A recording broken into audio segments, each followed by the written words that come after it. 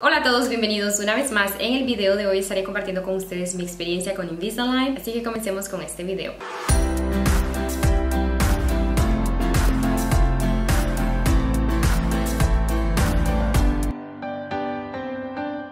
Primero que todo, ¿qué es Invisalign? Si están en este video probablemente ya saben qué es Invisalign, pero básicamente es un tratamiento de ortodoncia en el cual no se utilizan los uh, braces regulares, sino que se utilizan como alineadores de plástico y pues de igual manera te enderezan los dientes. Les estaré compartiendo los costos, eh, fotos de antes después, ventajas, desventajas, todo eso. Bueno, con eso dicho, lo crean o no, yo no me había dado cuenta que mis dientes estaban torcidos hasta hace unos cuantos años atrás. Cuando yo me di cuenta que necesitaba frenillos, me surgía la pregunta de ¿será que yo puedo ponerme braces? Y yo me preguntaba eso porque yo tengo tapaduras de dientes y una corona. Así que si ustedes están en esa situación, así que para que salgan de dudas, yo les recomiendo que hagan una cita con un ortodoncista. Para el tiempo que yo decidí en buscar un ortodoncista para ver si podía usar braces, yo necesitaba este, reemplazarme los, los rellenos en los dientes y ponerme una corona. Entonces yo decía, bueno, voy a ir al ortodoncista primero y después que me haga el tratamiento me voy a pues, arreglar los dientes, ya con los dientes ya compuestos. Pero no, o sea, ustedes cuando van al ortodoncista, ustedes no pueden empezar ningún tratamiento de ortodoncia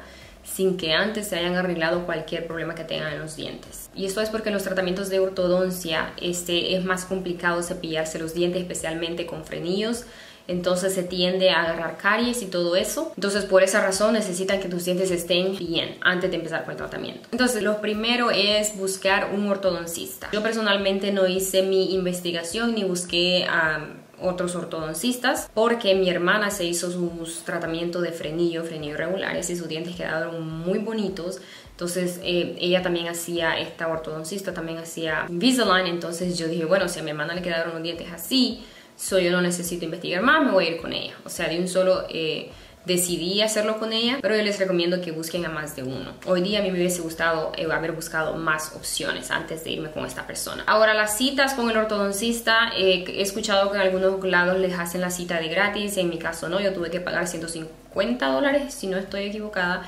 para mi primera cita para chequear, que me hicieran el chequeo y ver si yo podía usar braces. Cuando yo fui a ver al ortodoncista, yo le dije, bueno, yo quiero hacer, ponerme frenillos regulares y ella me dijo, no, no calificas para eso, pero sí calificas para Invisalign. Así que le dije, ok. Como les digo, yo estaba contando como que con, okay, con unos 3 mil dólares quizás para los braces. Entonces yo le dije que sí, que sí quería hacerme el tratamiento. Entonces me explicaron ahí de los planes de pago, si querías pagar pues de un solo. Obviamente los mortales como yo no contamos con tanto dinero de un solo. La mayoría del tiempo creo que ellos siempre ofrecen un plan de pago. Otra cosa que yo les recomiendo es que hagan todo tipo de preguntas. Usualmente con Invisalign ellos proveen eh, un, no me acuerdo cómo le llaman en inglés, pero es como algo digital en el que uno puede ir viendo eh, al paso de lo, de, lo, de lo, con cada retenedor cómo se te van a ir poniendo los dientes y cómo te van a quedar al final. Si vas a poder eh, tener acceso a eso. ¿Qué dice tu contrato si, no sé, quizás no te gusta cómo se están viendo los dientes? Si hay algo que uno, o sea, uno no ortodoncista, uno no sabe porque no solo es el cómo se ven, sino también en la,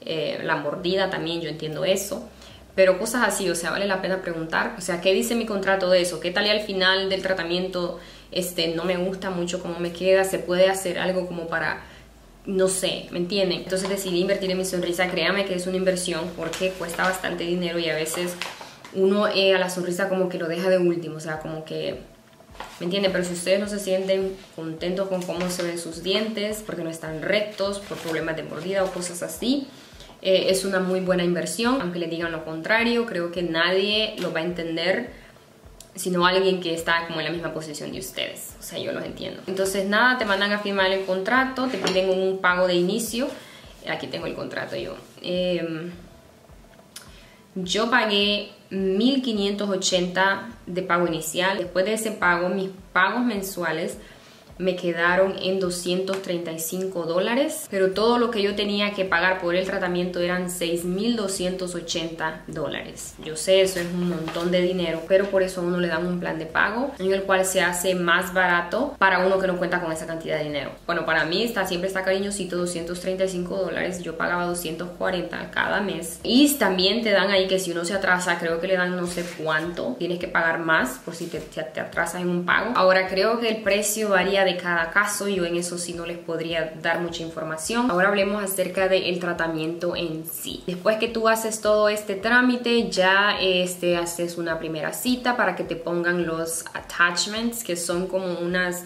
como cuando a uno le tapan un diente, pero te ponen como unas bolitas pegados en, en no en todos los dientes, Ah, para que cuando uno se ponga los retenedores se queden ahí y no se salgan. Ese día que me pusieron los attachments me dieron los, los aligners, creo que como para dos, tres meses y se cambiaban cada semana. Eso ahí trae toda tu información, el, en cada paquete te trae el número, o sea que no hay confusión. Y a mí me estaban viendo cada como dos, tres meses, esto fue hace más de un año. Entonces con Invisalign uno tiene que ser bastante comprometido. ¿Por qué? Porque depende de uno de estarse poniendo los retenedores todos los días. Según los tiene que uno usar por 22 horas, solo quitárselos para comer. Lo único que uno puede tomar con ellos puestos es agua. Ahora, ¿es doloroso Invisalign? Creo que esto depende de cada persona, porque para lo que uno es doloroso algo, para otro quizás no.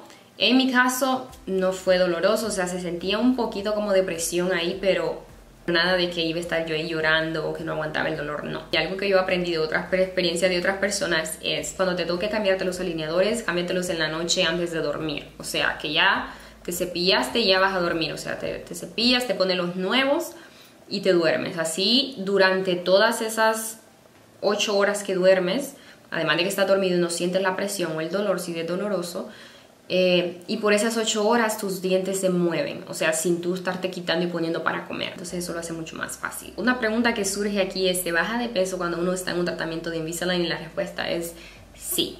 ¿Por qué? Porque eso de estarte quitando los retenedores, cepillarte, quitártelos, ponértelos y estar así constantemente, o sea, da pereza.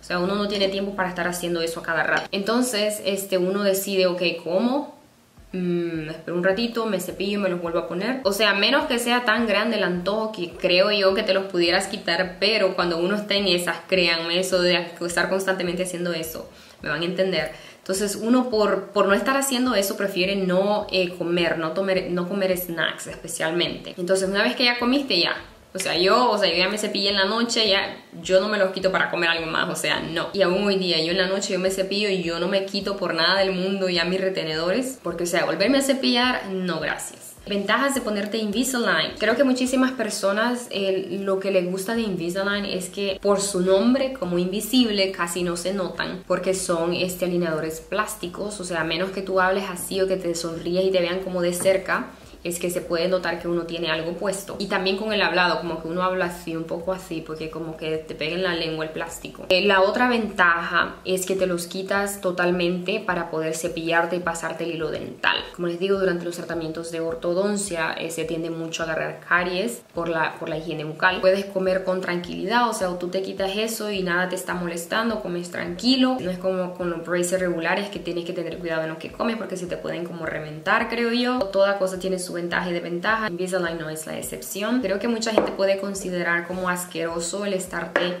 quitando y poniendo eso, como que te sale un poco de baba cuando uno se los quita. Cuando uno se los quita o no come, se cepilla, los retenedores se lavan, o sea, con jabón de lavar trastes o con jabón de lavarte las manos.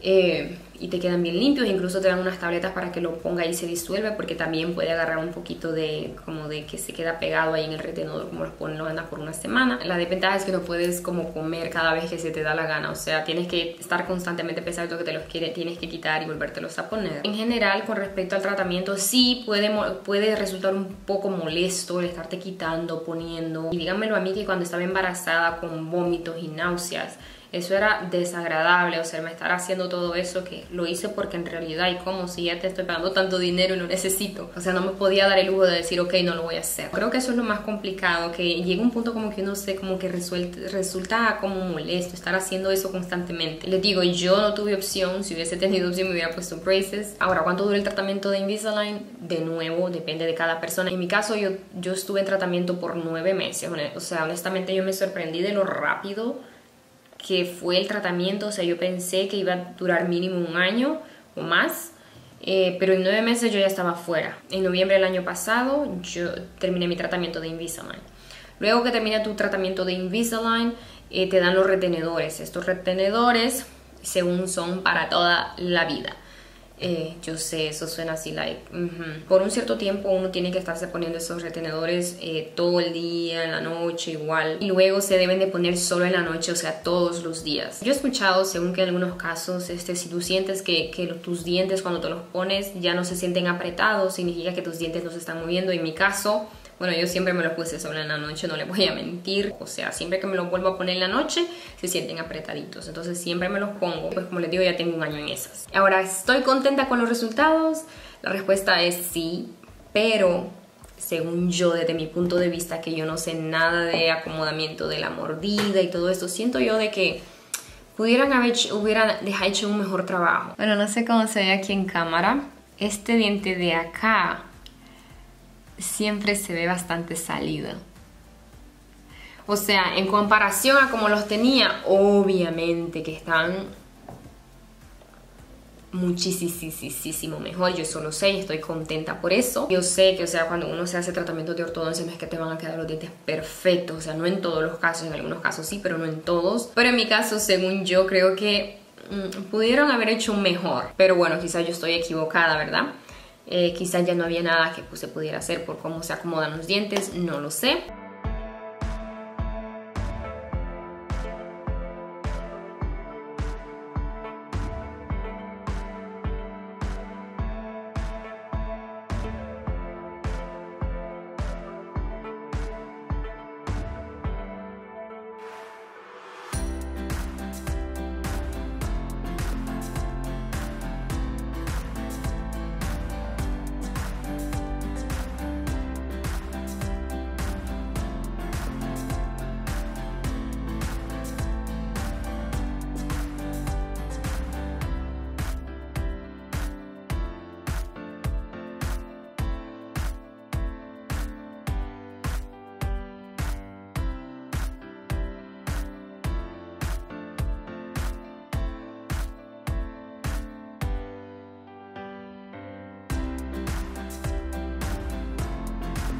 Y pues bueno, hasta aquí este video. Espero haber abarcado eh, la mayoría de las cosas más importantes. Si hay alguna cosa que se me escapó, se la voy a estar escribiendo aquí en la pantalla porque a veces eso me pasa. Como siempre, muchísimas gracias por ver. Si les ha gustado este video, no olviden darle me gusta, suscribirse al canal si no lo han hecho y nos vemos en el siguiente video. Bye.